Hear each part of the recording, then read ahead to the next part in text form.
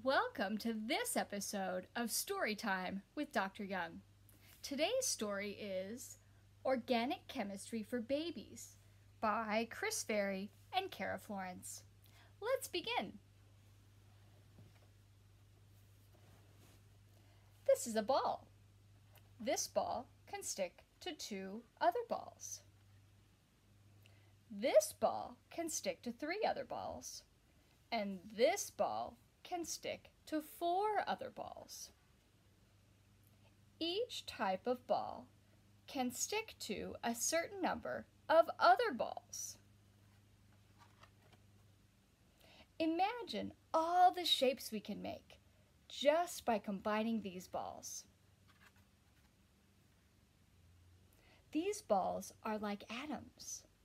Atoms make up everything. Each type of atom can stick to a certain number of other atoms. This is the carbon atom. It is very special. It can stick to four other atoms.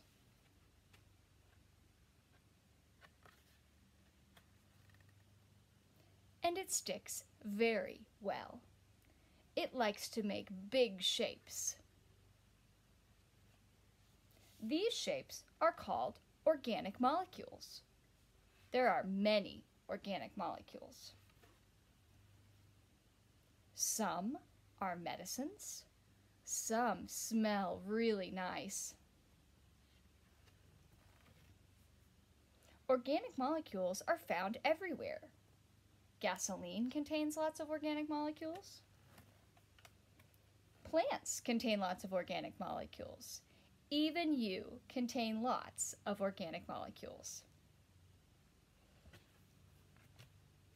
All life on Earth has organic molecules, and all life on Earth needs carbon.